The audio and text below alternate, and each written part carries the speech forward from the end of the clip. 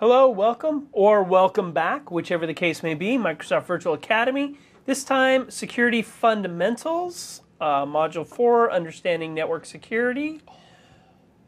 Christopher, I'm here with Christopher Chapman. I am Thomas Willingham, and we are here to help our audience. I'm just here to silently stare in awe and wonder. Make things awkward. Yes. that is my role. Uh, so we're here to understand network security further, more. Well, we're here to help them understand it. Well, yes, yes. I mean, I'm hoping I mean, maybe we can understand it more afterwards, but I'm hoping there's not too much of, oh, that's how that works. By the way, not a good thing to do in a class full of people when you're teaching something. oh, that's awesome. I didn't even know well, it I, did di- I didn't know it Oh, did that. That's crazy. Not a good might might lose a little bit of credibility. Just a smidge. little. Depending on the importance of the feature. Exactly. Exactly. Module overview. We're going to talk about firewalls, network access protection, network isolation, protocol security, and wireless network security. So, first of all, firewalls. Firewalls protect a computer, a network, or a network segment from network based attacks. It performs filtering of data packets traversing the network and can basically filter out different kinds of content. Different types of firewalls will filter out different kinds of content. The graphic here gives you an idea of how it might work. So you have the internet, the internet traffic hits that firewall. That brick wall in diagrams is a pretty typical icon used for a firewall. Uh, notice after that that the traffic is gone way down. So just a lot of stuff that the firewall might filter out. It might filter out web traffic. It might filter out uh, telnet traffic, uh, email traffic. It can filter out a variety of traffic to hit your corporate network. So the OSI model. If you took the or watched the networking fundamentals course, you should be familiar with the OSI model. The OSI model, Open Systems Interconnect model, is a model that enables networked devices to intercommunicate. There are seven layers within the OSI model application, presentation, session, transport, network, data link, and physical. Now, the, the next couple of slides here go through all of these layers. Uh, we're not going to spend a lot of time going through them individually. It's not that pertinent to the security course, the security exam. Uh, not to say it's not pertinent to security knowledge at some point in your career or as you advance through security, you may get to the point that the individual layers of the OSI model make a big difference. They typically don't. I mean, we're, we're not worried about security from an individual OSI model layer standpoint. At least I've never been.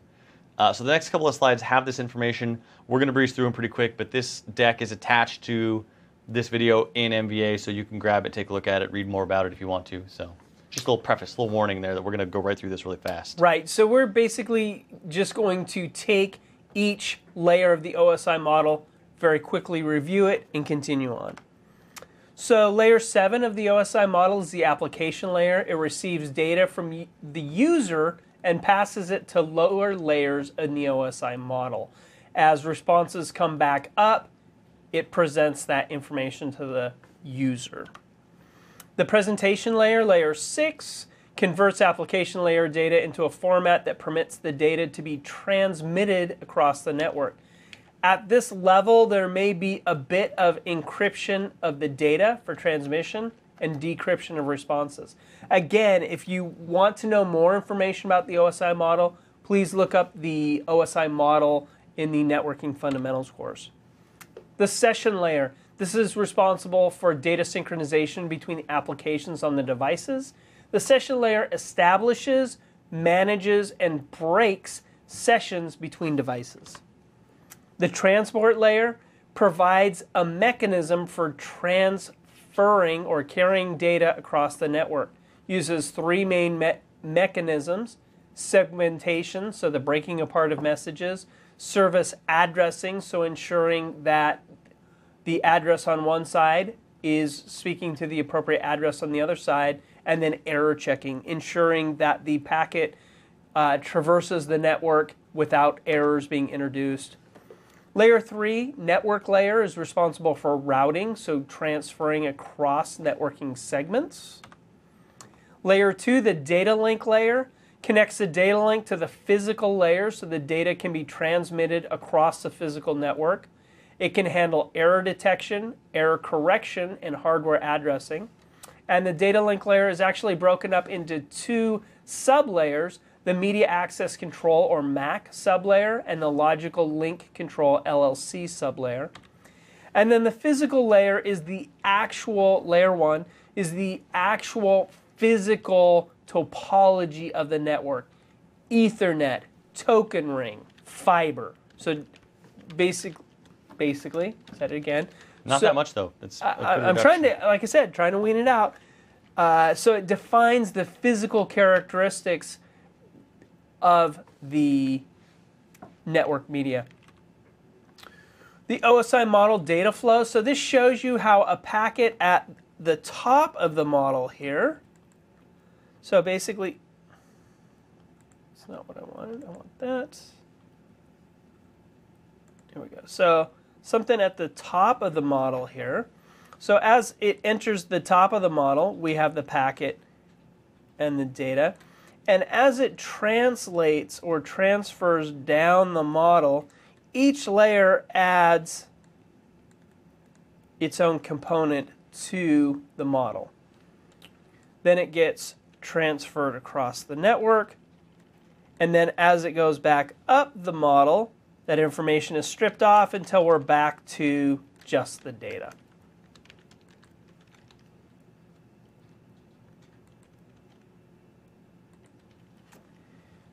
packet filtering firewall. This is the first generation firewall. It specs packets at layer 3, the networking layer, based on rules that define what types of packets are allowed or denied to cross the firewall.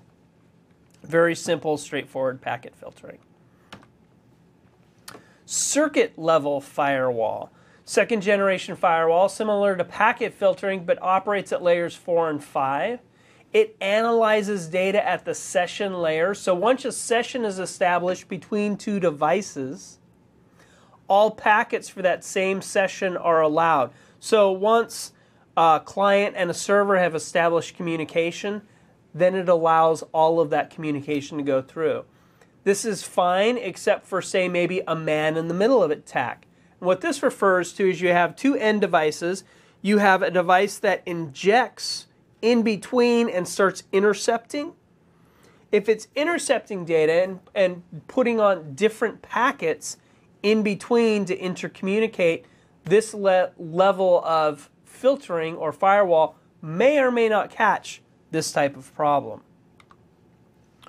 Application level firewall, so third generation firewall, analyzes data and application behavior at layer 7, also referred to as proxy servers.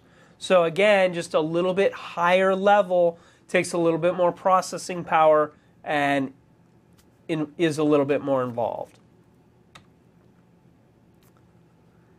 So in the next, and, and to keep it simple, our last our last bullet. The last bullet. Most modern firewall products work as a mix of all three generations. So and that's so you hear about devices, a switch, a router, a bridge, uh, a firewall, and it used to be that all these devices were very specific. This is a bridge device. This is a router device. This is a switch device. This is a firewall. Now, it's not uncommon that one single device will have multiple functionality. It will act as a firewall, it will act as a switch, it will act as a router. So, as you look at devices, uh, ensure that as you're looking at devices, that you're comparing apples to apples. Uh, you may see one device that's priced X. Let's just, I, I'm not picking any specific device, but let's say we have one device that's $100 and we look at another device and it's $1,000 and they both say that they're routers. Well, maybe the $100 router is just a router and the $1,000 router is not only a router, it's a switch, it's a firewall. So really look at the products and dig into what they have in them so to ensure that you're comparing apples to apples. So, host firewall and network firewall. So, as devices are intercommunicating here, the host firewall, this software protecting a computer from network based attacks, also known as a personal firewall. So, a host or your individual client computer versus a network firewall. The network firewall is a firewall for a network segment that ha- that basically moderates network traffic. So host let's let's step back for a second and think about the fact that all network traffic travels all over the network. Uh, once a device puts something on the network, it goes to all devices on the network. A host or client firewall filters out stuff that's not meant for that client or that's not pertinent for that client. So if my client isn't a uh, web server, it doesn't host RDP sessions, uh, it doesn't host email, you can shut those ports down and have those firewalls block that to ensure that back to nefarious or malicious that those packets aren't coming in that your system might try and process that could cause problems. Versus a network firewall, a network firewall protects a network segment. And now we have, oh, it's demo time. Demo Uh-oh. time of the networking or the Windows firewall. Alrighty, well, So- let me get that spun up here real quick. And what we have here is a fun adventure because, well, I'll show you. Because why not? Get logged in, close our group policy, and we're just going to start from a clean desktop. And here we have our folders from earlier. We've got the same demos. I'm running on the same machine. And we're going to jump right into the firewall. A lot of users on desktop computers, laptops, maybe a Surface, might be familiar with one of these options. I'm going to hit start. Now, again, this is 2012. This may look a little different than 2008 or 2003 if you're using those. But we're going to the same destination. We're going to go to the control panel. This should look familiar. Firewall, eh, still not in here. I'm going to change this to small icons because it's just my preference. Now there is Windows Firewall.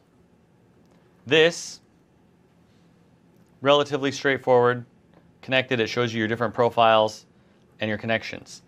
I can allow an app or feature through the Windows Firewall. Now, I can sort of speak to this. I'm not a big wizard fan. I don't like wizards doing the work for me. I'm a I'm gonna get in and figure it out and change it at its root kind of a fan. I'm not gonna go that far because it's all buried inside of I want to say group policy. It's actually buried in the registry that these things are kept on local machines. We're not going to that level. But here, I have options that already exist Windows services, Windows roles, different Windows communications mechanisms, and I can allow these via the checkboxes through different profiles, domain, private, or public, depending on what I'm connected to. Now, I can allow another app. This is the part where I'm not a huge fan because it kind of limits my ability to configure. Yes, this will work. I can allow applications as long as they show up in this list, which not all applications do, or I can browse to them, which most applications I can get to this way, it's going to work, and I can allow them through the firewall. I'm a little bit more, I want to say fundamental. I don't know if that's the right word, but we're going to go with that. And we've seen the Windows firewall. This is your list, and the allow another app is how you allow an application. And then network types, you can select which ones are yes and no. I like to be a little bit more granular. So we're going to close this. We're going to go back to control panel, but we're going to go one level deeper into administrative tools. And all the way down here, hiding at the bottom, Windows Firewall with Advanced Security. This exists on all Windows computers past, I want to say, Vista. I, I don't remember if Vista had that or if it's just Windows 7 and later, but this exists, servers and clients. This is my kind of configuration tool. Inbound rules. Yeah, this is where I get to really strut my geek right here in this course. I like this. This is my kind of an interface. And most of it is because I have more options. This is just what is and isn't existing. These are created. Green is enabled, gray is disabled. They exist, but they're turned off. And then all these options, which profiles are attached to, whether it's enabled, what action, because I can specify specifically allow or block, override which program it is if there's a program associated. Local remote addresses if we're keeping it specific. Ports if I want to go with that. All of this is in this table, but we're going to create one so you can actually see how you build it. This right here, I already like this more than the other firewall because it's giving me these options. Yes, I can allow a program like I did in the other, in just the Windows Firewall Control Panel app. But I can also go per port if I don't want to tie it to a particular program. I may have, you know, for an example, I may have an email server that I have a number of applications listening on a given port, or it, it depends. It depends on the setup of your network. Um, and I don't want just a program. I want to allow everything on that port. So I can do that. Or I can do predefined. And these are services and roles that Windows provides as a Windows server. Or I can go custom. I'm not going to worry about custom because this is it's a lot of information, although port should have some of those. TCP or UDP, all or specific. Now, you can't do both at the same time. So if you were to want to allow a port that needs TCP and UDP, there are programs out there that need access to a port on both of those protocols. You'd have to create two rules. But again, it's granularity. I'm okay with granularity. And then you give it a port. Let's say 80. I don't mind opening a web port on this isolated non-network connected VM. Allow. Allow if it is secure, and this is IPsec based. We're not going to get into this. Uh, this is a security topic and a terrific security topic, but it's a more advanced security topic. So this is going to be covered in the, the MCSA course series, the 410, 411, 412. Or I can block it. I can flat out say, do not allow this. Now, typically, a what's the word I'm looking for? A lack of a rule is a block. If I'm not explicitly allowing it, it's not allowed. But there may be, let's say there's a program that I'm allowing. That program may communicate on multiple ports, but I don't want it to communicate on, in this case, port 80. So I'm blocking port 80. Now that may interrupt the communication or the functionality of that program. But again, I don't use program rules very often in the firewall. I'm going per port to make sure I know what's going on. Allow is the easy option. Profile, do we want it to apply to all? No, if this is connected to a public network, if I'm in an airport, we'll, we'll visualize instead of a domain controller, this is my laptop or even my desktop at home. If for some reason it detects it's not connected to my home network, maybe I've taken it somewhere else. I hate to go here, but anybody watching this may have participated in a LAN party from time to time. Yeah. And if I take my desktop, which I do run a domain at home, because again, we're, we're strutting the geek right now. If I take that desktop away from my house and I'm no longer connected to my domain, I'm going to plug it in somewhere else. It's going to come up as public. I don't necessarily want all my friends browsing content on my computer. So I can uncheck this box as I'm blocking these ports and then give it a name. I don't have anything more creative right now because it's just an example. Done. Now in this list, port 80. And done. And that's, uh, that's the more complicated Windows firewall. And that's pretty much it. That's the two of them. You can modify anything that exists. Core networking. You want to change this, you can. Now this one, because it's, uh, you'll notice this is all grayed out. It's because of the fact this is based on the system. This, these are all pre-built rules again that may have different configuration options that limit what you can do in here. Um, there are other reasons for this. I can, to some degree, control firewalls with group policy. I may have rules in here that I either can't control or can control, but will suddenly revert after a certain period of time. So all those things apply trying to keep it as light as I can. I think that's good on the firewall. So one in control panel, right here, and one one level deeper in administrative tools, right here. And again, those were firewalls for a client, not a network segment. Although the network segment will have similar functionality. Well, it depends. the concepts can be the same. Blocking, enabling uh, applications, protocols, ports, Yep. or disabling. Yep. And technically, since you can use a Windows server as a router using routing remote access services, I could end up in an interface very similar to that to actually control the flow of network traffic across segments. Not a likely scenario, but it's possible. Okay, so network access protection, sometimes referred to as NAP. What this does is as a computer boots up, before it even really connects to the network or as it's connecting to the network, this can analyze health of a computer, decides whether the computer can connect to network resources or not, and then may allow some sort of remediation to occur. So a computer gets booted up, uh, it goes through the the rule checking does it meet criteria does it not meet criteria? If it meets criteria it connects to the network. If it doesn't meet criteria you can set it up where it gets sent to an area for remediation to enable it to come back into compliance so this shows you what NAP architecture may look like. Uh, we have our Active Directory here, our internal network, uh, our perimeter network, internet, VPN server. So as the system boots up, it may not meet the requirements to get on the internal network, so it gets sent to the remediation network with uh, WSUS and antivirus ser servers that enable it to become back into compliance. So we have a client with limited access. It then has the ability to come into compliance from those servers. We have a NAP client once it meets compliance, able to access the internal network. Again, this is levels of security within the system because if you have a computer that boots up and is infected, uh, it doesn't meet compliance somehow, it can wreak havoc on the network. What this does is as the system comes up, it says, you know, I'm not even going to let you on the network because you're not in compliance and push it off to another network.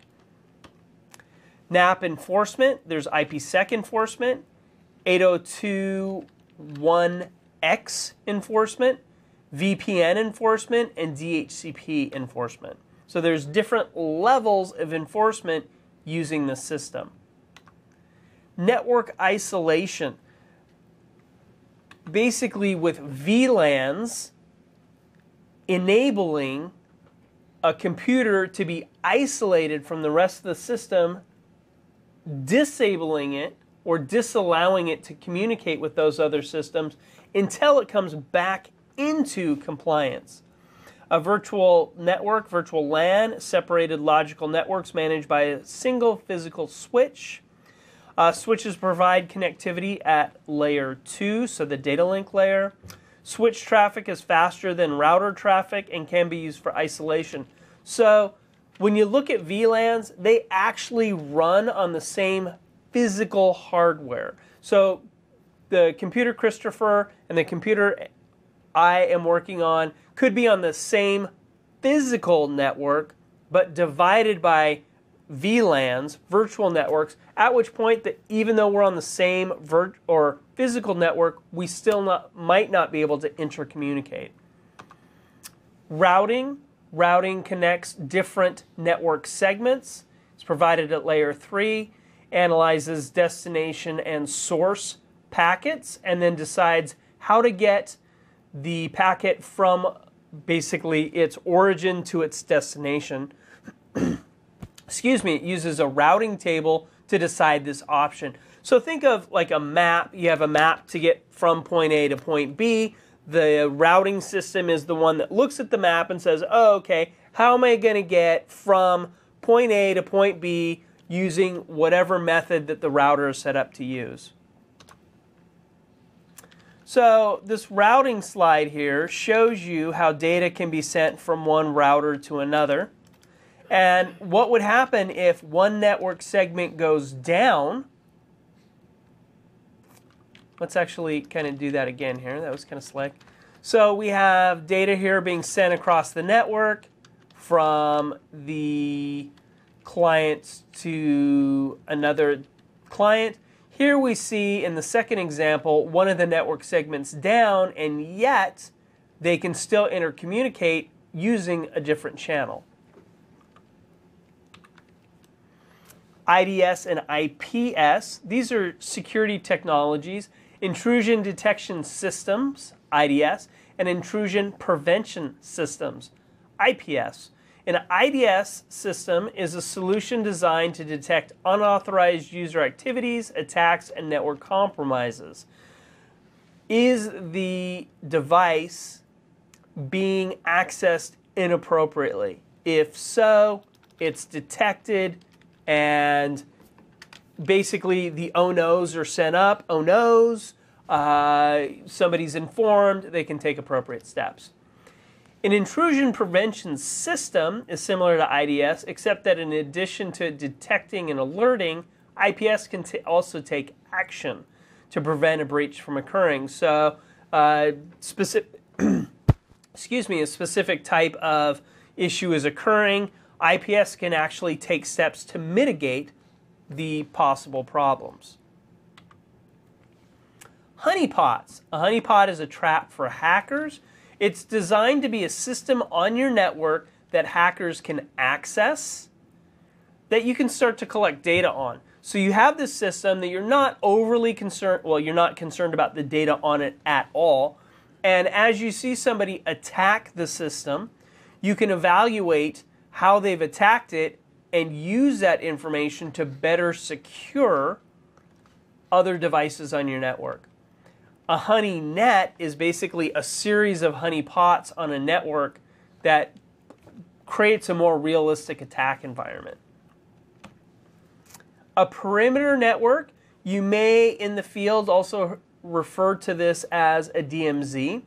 Perimeter network is an isolated network serves as uh, basically a buffer between two networks, often used between the public network and a corporate environment, can be implemented using one or two firewalls. If you look at the next slide here, you see this kind of sandwich perimeter network where it's between multiple firewalls. So let's see here. Basically, we have this firewall here in between the internet and the rest of the system. Then we have a firewall here between the web server, the mail server, and DNS, and then a firewall here between the corporate network. So traffic is going to come in here, hit the firewall, be able to come over here and gain access here, and then these users can come over here and gain access to webmail, the server, whatever they need information to.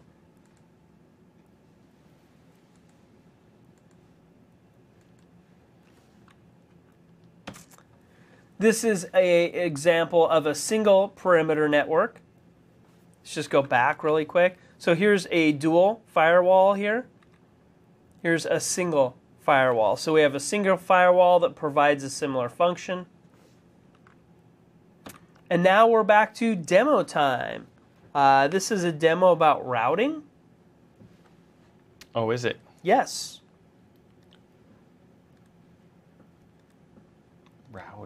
Routing. Well, what I will do, because again,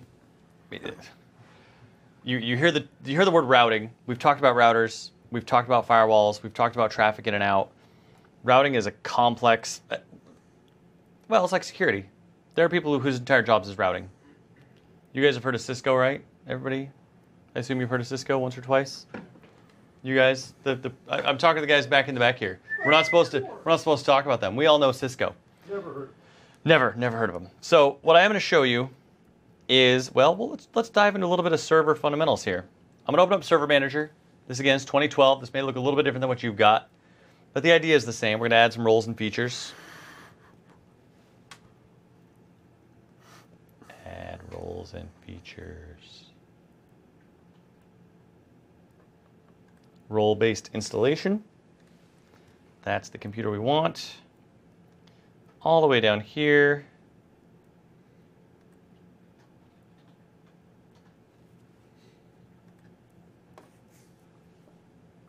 Let me see what all this installs, make sure we're good. I'm not going to worry about the add-ons that we normally give. Mm, mm, mm,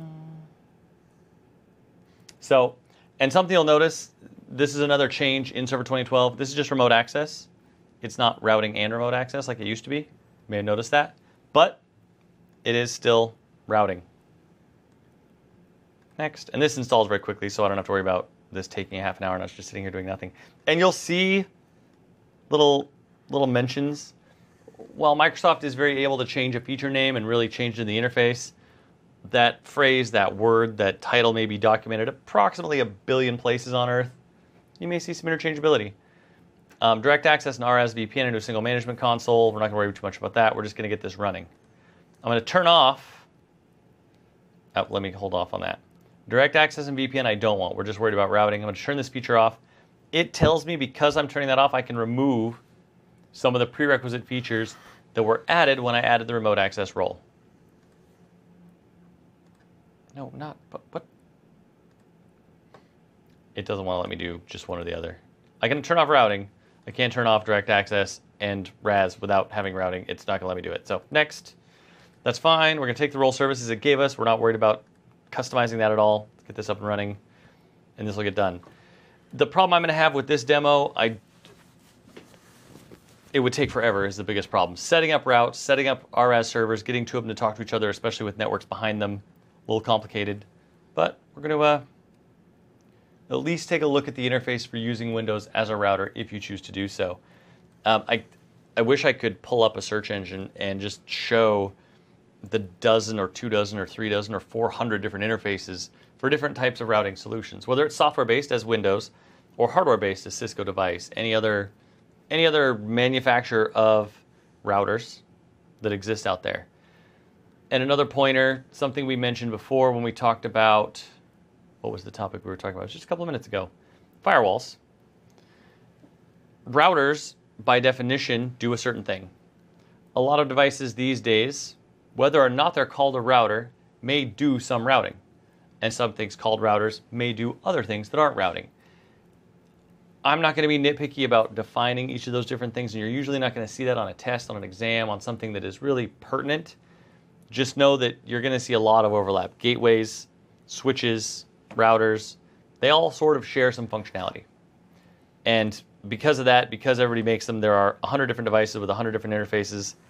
And this is the only one I can show you in a demo is ours. So is that installed? Oh, I, did I close? Oh, good, I didn't. I thought I closed Server Manager for a second.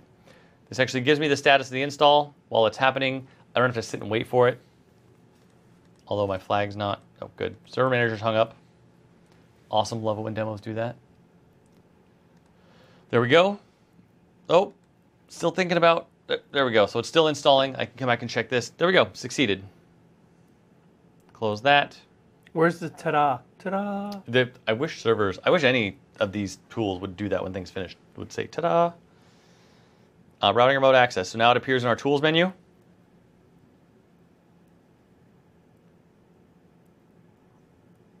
And it thinks and it comes up. So in here, uh, this is one of the nice things about servers, or about this particular feature of servers. You have to set up the basics before it'll even let you turn on the service. Determine what you want to do. I don't want remote access. I don't want NAT. Two private networks. This would be a site-to-site VPN or a custom, which is where you're, if you're purely doing routing, that's where this is going to be. LAN routing.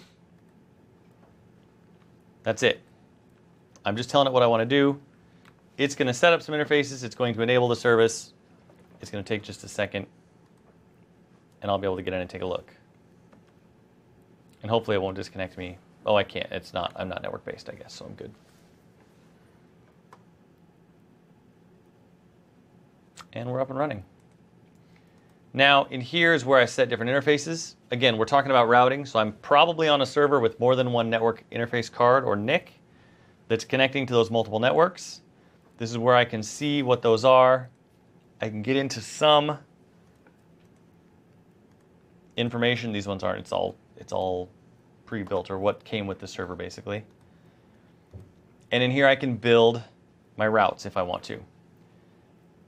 I'm, I'm trying to explain this as best I can without going into deep explanation of routing and routing tables and multiple interfaces and how it all works and how it all goes together. For now, this is the interface you're going to see. You're going to get your server, your multiple network interfaces, your static routes if you want to build them, which if you're building this server to service two Network segments, you're going to build static routes. They're going to be pretty simple. New static route, destination mask, and the gateway to get to it on a given interface. And usually, again, you'll have more than one interface as determined up here. Cancel that, come up here. Uh, general, this just shows status of existing interfaces. I think that's it. There, the only other thing I'll show you in here is uh, show IP routing table. This is what's been built by the server. It already exists. And I'm only connected to one network, so it's only going to show me that one network. But I would, were I to create additional static routes, be able to see them in here. Um, I mean, I wish I had a more in-depth routing demo to do, but it's just so much information and so much depth that It's hard to do a high-level routing demo. it, it really is. As soon as I start that, I'm like, well, I can install the feature and I can look at the feature. But as soon as I start actually building static routes and connecting different network segments, I mean, I could even do it and show it on the screen, but it, the explanation is going to take forever of the house and it's yeah, it's going to be really confusing. But this is a way, you're looking at an interface right now that Windows Server allows you to set up a Windows Server as a router between network segments. And that's one of your options. So after routing, we talk about protocol security, multiple levels here. One level is network address translation.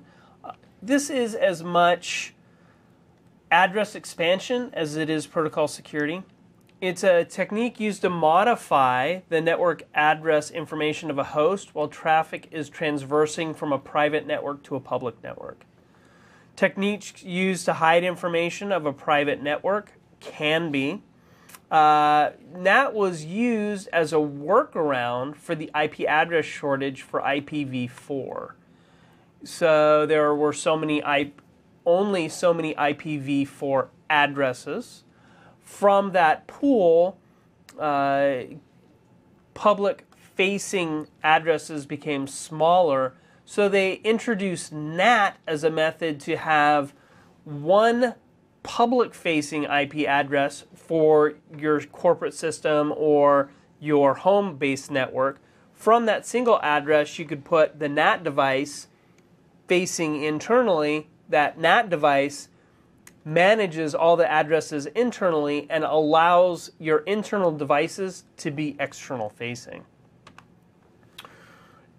Two types of NAT, static and dynamic. They're pretty much what they say. Static NAT is the ability to explicitly give an address to an internal device.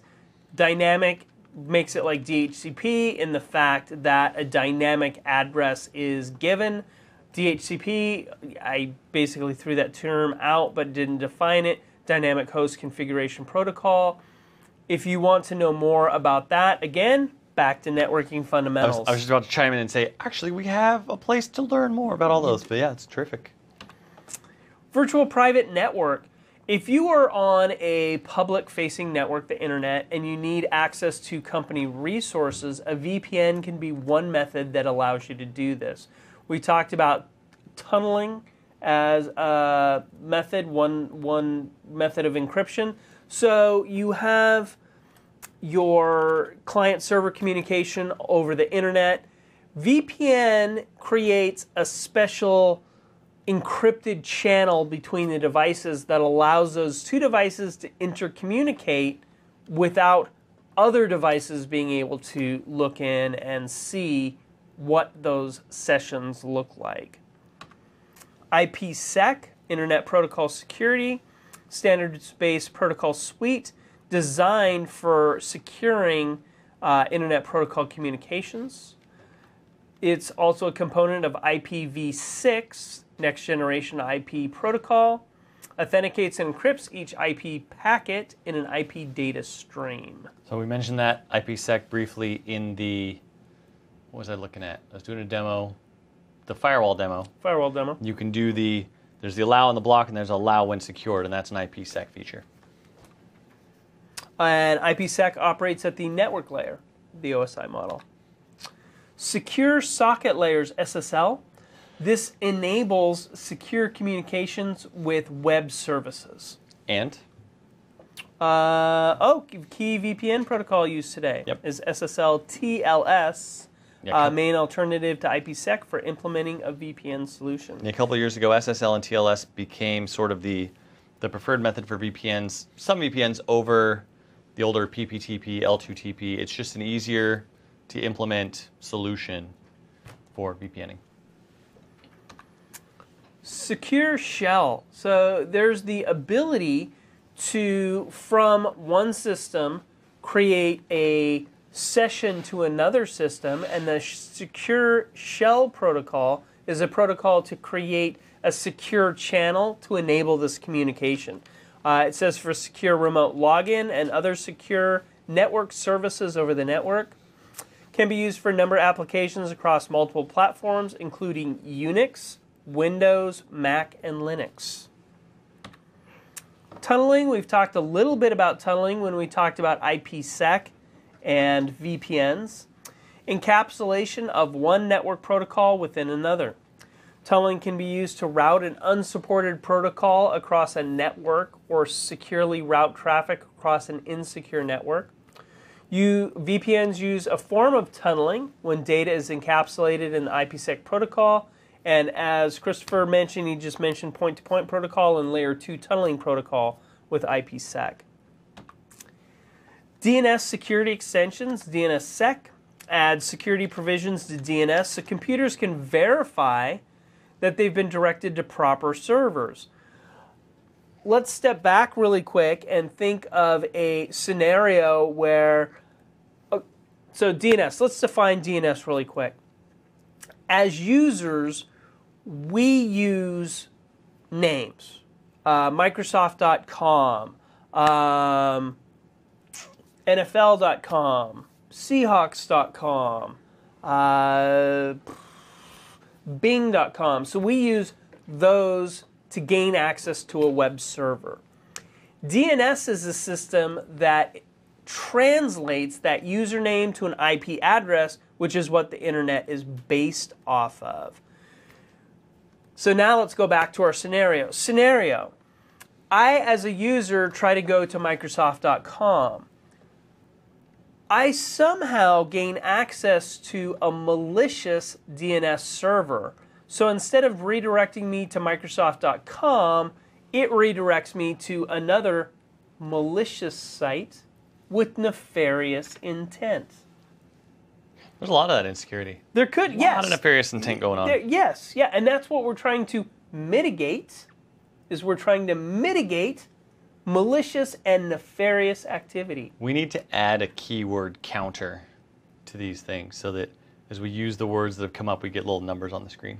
Bing, keyword count five for today. Yep, I think the keyword for today is I think nefarious. nefarious is good. I like and then mitigate, which was actually in the in the content. Yes, It is. It is. Uh, so DNS security extensions creates a more reliable intercommunication system between a client and a DNS server. Provides authentication and integrity checking on DNS lookups, ensuring that outgoing internet traffic is always sent to the correct server. This allows or enables the removal of issues of forged DNS data, as I just mentioned.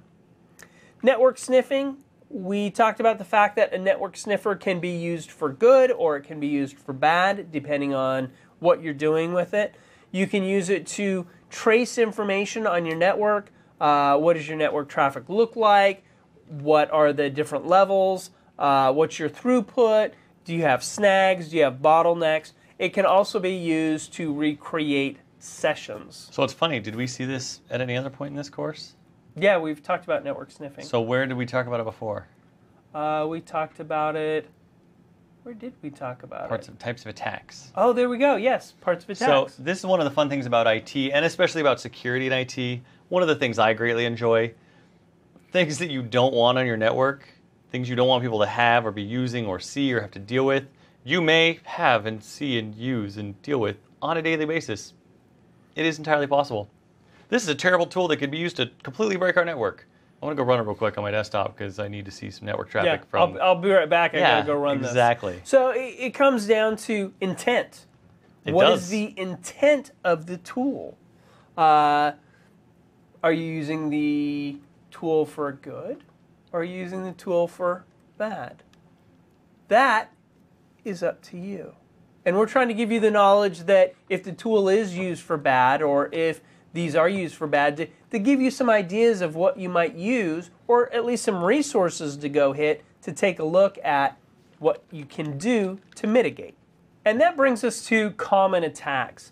Things like denial of service, distributed denial of service, so DOS or DDoS attacks, uh, IP spoofing to bypass network security, man in the middle attacks, which we talked a little bit about, mm-hmm. backdoor attacks, so using unsecured ports to access your system, DNS poisoning, so getting bad uh, DNS information out there and causing inappropriate redirection. Mm-hmm. Uh, replay attack. So after a certain string has been or a certain set of data has been sent, basically resending it multiple times. W- weak encryption keys, so breaking encryption, or social engineering, which we talked about earlier. I still, that one should be the top. Still my favorite. Common attacks: password cracking, dictionary attack, brute, brute force attacks, software vulnerability buffer overflow, remote code execution, SQL injection, cross site scripting. These are all like we could spend a day just on these common. We could spend a week on I was these gonna, common. I, was say, I know developers that you talk about software vulnerability and buffer overflows and remote code execution in weeks, weeks, weeks. Uh, these are these are actually really really interesting uh, topics and if you're interested, I would say dig into them further. At this point, we're, we're just barely scratching the surface. But we're trying to make you aware of these issues so you have the ability to go and research further. Well, in some of these, on this page, the first three password cracking, dictionary attack, and brute force attack those are the things that are going to be covered potentially in an objective domain for security fundamentals. This is not a developer oriented course, this is an infrastructure oriented course. So the, the second half of this page, software vulnerability down, remote code, SQL injection, cross-site scripting, you're not going to see in this content or in the any subsequent exams or any of that any of that material. So they're good to know about. Absolutely learn about them. They'll they'll make you able to annoy the heck out of any developers you have that are friends or coworkers, which is terrific. But for the sake of this, the first three are the big ones, and the previous page. Wireless network security so now we'll talk about securing your wireless environments to enable secure communication. And this is where we get tricky. So I talked earlier about users having their own devices. This is where it gets a little complicated because I have a phone in my pocket. I walk into work, we've got wireless networks everywhere. Can I connect to those wireless networks? Well, I connect to them on my laptop, just username and password. I can do the same thing on my phone that means that potentially anyone could connect to that wireless network. Anyone who can get within this building's range. Obviously, in our case, we need a username and password. That's our security. We'll talk more about additional security, but this is one of the biggest topics in IT right now only because of the proliferation of personal devices, the proliferation of wireless networks at home and at work, knowing the right options to set them up, and such. So I'm just emphasizing the importance of wireless network security. WEP was the first security available to to uh, wide area network users. Right. Uh, rapidly fell out of favor. That gets kind of sad. Why? Fell Why did it fall out of favor? Fell out of favor when a flaw in the encryption was found. Oh. There are videos for anybody curious who wants to learn about security from a purely academic but educated standpoint, uh, there are videos available that show you how easy it is to crack WEP. I won't direct you to them, but they do exist. Yeah, and, and that kind of stuff. To understand these attacks, you need to ha- have an understanding of them and how they're performed. That that's why uh, black hat type conferences are so popular because for security professionals to truly be a security professional, the best security professionals, honestly, are the best hackers. That's true. Because they understand the mindset, uh, and, and, they kind of come from the background of just little curious Georges. I just want to know more. I want to know how to dig into that. Uh, I want to know what makes it tick. And kind of by getting into that, by digging into that, you find security holes. Yep. WPA2 and WPA or WPA and WPA2 Wi-Fi protected access uh, was designed as an interim successor to WEP. Uh, inter- included a new security pro- protocol, uh, TKIP, Temporal Key Integrity Protocol. And then WPA2 is a standard-based version of WPA, uh, except WPA2 implements all of the IEEE 802.11i standards. Hence the interim. The first one was interim because they were working on that standard, the 802.11i standard, and the full implementation of it.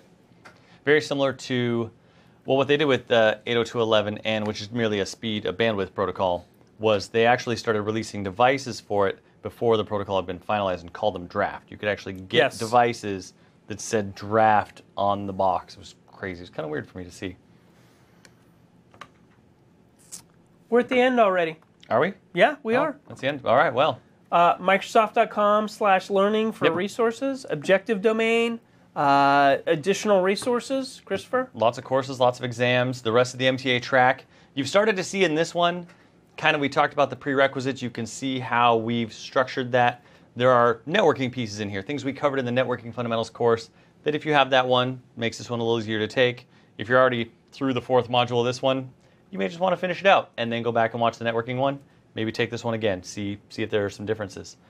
Uh, other than that, yeah, go And- take and the exam, notice- get ready, take some courses. There have been a couple things when we talked about OSI, uh, when we talked about some of the protocols, VPN, IPsec, uh, PP2, TP, TPTP, yep. and layer 2 uh, tunneling protocol. We've covered that in a, a bit more in depth in the networking fundamentals Yep. course. And then you'll cover them more in depth in the MCSA courses beyond that.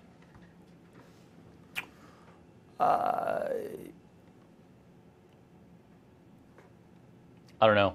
Uh, don't know. we're being flashed information on the screen, and oh, oh, Oh, that's so terrific. th- this actually is awesome. Uh, we do have a counter. Nefarious is three, basic is four, demos twelve, break times four, hacker is six. I like. I like. It's good. Yeah. I think it's basic though, not basically. So, our our producers are, are doing some good things for us back in the back So- here. We're only as good as the people behind the scenes, and we have some damn fine people. That's what we Can got I right say there. damn fine? I think so. Okay. I don't have any reasons that we can't. Yeah, there we go. Damn so- fine. There you go. I said it. So we'll be back.